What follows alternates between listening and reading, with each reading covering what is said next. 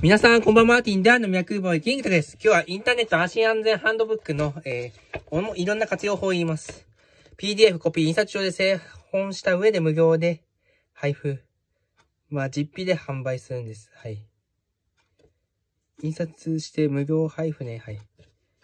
まあ、イラストももちろんそうですけど、あとは市役所へダウンロード。分割しての配布もいいですね。あとは高校とか、まあ、合体でもいいですし、学校の授業でも勉強になります。小学、学校の授業、まあ、1章、2章、3章、5章ありますね。ご家庭でも、もし災害時に備えてでも、いろいろ役立てます。はい。皆さん、情報には十分注意しましょう。情報の世代は、まあ、公公衆衛生世代、公衆衛生の時代になってますので覚えてください。